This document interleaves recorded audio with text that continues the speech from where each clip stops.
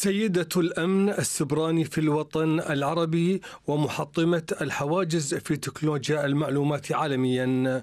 كل تلك ألقاب عالمية تشرفت أن تحمل اسم الرائدة في مجال الأمن السبراني وتكنولوجيا المعلومات الكويتية دكتورة ريم الشمري والتي استطاعت أن تقارع كبار المتخصصين وتكسر حواجز التحول الرقمي والذكاء الاصطناعي رافعة علم دولة الكويت عاليا خفاقا يتربع على عرش العالم الرقمي. أهديت هذا النجاح والإنجاز لصاحب السمو أمير البلاد وكل قياداتنا في الكويت وفي القطاع النفطي لأن أنا بنت القطاع وجميع الرائدين وزملائي في مجال التقنية وفي مجال الأمن السبراني الحمد لله رب العالمين يمكن فوزي في جائزتين هي جائزة سيدة الأمن السبراني الوطن العربي لعام 2024 هذه الحديثة.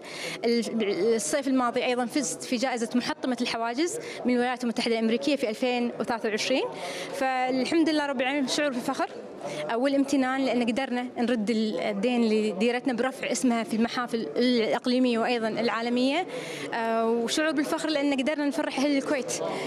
الحمد لله رب العالمين الإنجاز هذا مو إنجازي. أنا أشوفه إنجاز كل أهل الكويت كل الخليج كل الوطن العربي والإسلامي ولله الحمد والمنة الرائدة في مجال الأمن السبراني دكتورة ريم الشمري مسيرة حافلة بالإنجازات في عالم تكنولوجيا المعلومات والذكاء الاصطناعي.